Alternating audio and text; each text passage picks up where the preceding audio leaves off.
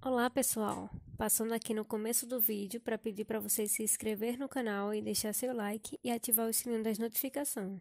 Ah, e também estamos no TikTok, então não perde tempo e já me segue lá para ficar por dentro de tudo que eu for postar aqui no canal. Nem eu me lembro.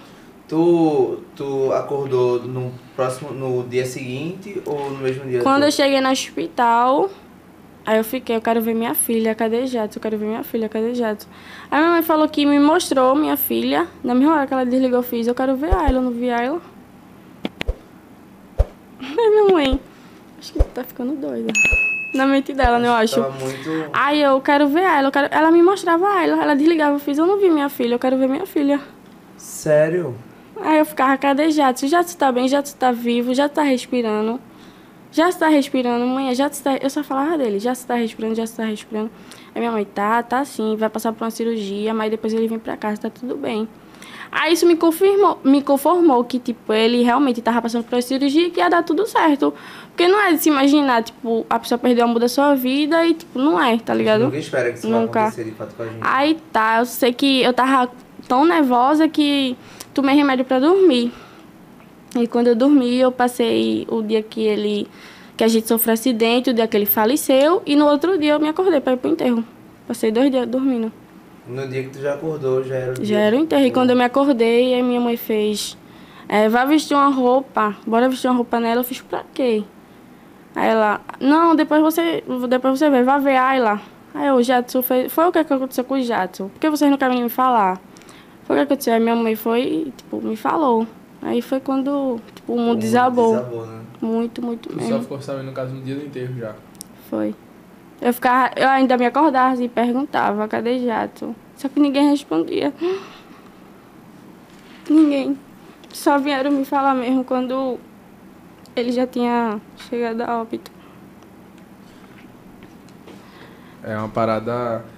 Agora o que, eu- o que me surpreendeu mesmo, assim, de verdade, é tipo assim, o quanto ele era amado, né, velho? Muito. Muito. Tipo assim, Muito, de verdade muito. mesmo, não foi uma parada que foi uma. Óbvio, você sentiu a mais do que amor. Você amava, era seu, seu esposo. Mas assim, velho, tipo assim, muita gente sofreu, velho. Só Eu- coisa boa falando do cara, Tipo velho. assim, cara- exato, tipo, você não viu uma pessoa falar algo, tipo, ruim dele, algo, tipo, que ele não... Alguma falha, algum... Tipo, todas as pessoas eram se- sempre elogios, né? Era... Amigo, não, tipo assim, o movimento, as pessoas, inclusive, eu queria parabenizar aqui em aberto, porque eu acho que quando as pessoas erram, a galera fala muito, mas a gente tem que exaltar também quando a galera. O Snafe, velho, achei muito lindo a união. Achei muito, muito Realmente. top, de verdade. Tá ligado? Eles tinham um contato bem de família mesmo, Uhum. né? Eu achei, achei lindão, velho. Achei aquilo ali muito lindo, de verdade. A união, assim, a parada, né? E, tipo, todos eles também sentiram muito, porque Muito. a relação deles era, tipo, como a relação que ele tinha contigo, uma relação familiar. E era, né? o deles era mais de infância, né? Com a Lei e Neve. Eles cresceram juntos, e, tipo, show juntos. Tudo é, junto. Todo canto que ia pra... Uhum. Iam. Meio que sonharam junto e chegaram E lá, chegaram né, de. Chegaram, né? Isso sonhando é, foda, junto. Isso é Ô, foda. amiga, eu acho que, tipo, por fazer muito pouco tempo que isso aconteceu, ainda tá uma confusão na tua cabeça. Aí tu tá querendo, tipo assim, seguir dia após dia, mas ainda tu, tipo assim, já, já tem ideia do, do que tu quer fazer daqui pra frente. Tipo assim, não, agora eu preciso trabalhar com a internet pra cuidar da minha filha, ou tu ainda tá realmente vivendo essa confusão? Eu ainda tá confuso. É porque eu penso que ele tá viajando com os meninos. E que ele, tipo, amanhã vai voltar. Mas, tipo, isso não é verdade, tá ligado? Tipo, já era, tipo, meu tudo. Meu tudo. É, tipo, como se fosse um pai pra mim. Que ele me chamava de filha. É, tipo, como se fosse realmente um pai pra mim. Eu vi em várias entrevistas falando o quanto ele te ajudava, quando te guiava em, em Muito tudo. até a gente separado mesmo. Ele nunca deixa a gente na mão. Nunca, nunca, nunca. Mas aí agora é só receber, acredito tá recebendo muito esse apoio da tua família, né? Tipo, tá tentando. Muito. As meninas estão morando comigo agora, meio que praticamente morando, né? Pra... Porque é muito surto. Eu, tipo, eu tô com as meninas aqui e as meninas vai passar, ela começa a chorar. Começa a chorar. E, tipo, é chorar alto, tá ligado? E, tipo, querer mostrar minha dor pra todo mundo. Porque realmente dói muito, dói muito mesmo. É, tipo, uma dor inexplicável. Por mais que a gente até imagine Não como é, mas ainda assim ninguém vai conseguir Não consegue. O sentir. Ninguém consegue pensa, ninguém sentir. consegue, O sentimento de E é cada super um é diferente, né?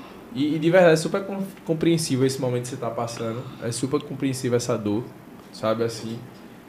É foda, velho. Eu acho que eu acho que não tem como a gente se pôr na situação porque é algo tipo assim, muito, muito, muito delicado, né? Uhum. E infelizmente a gente não teve a oportunidade de trazer ele aqui, inclusive a gente ia trazer ele junto com, com pra Princesinha, Com- né? Não, foi com Além. Mano Truta. Mano Truta. Antes de acontecer, a gente tinha falado A gente tinha falado, Entre né? os dois, Até é, Mano Truta e Jadson.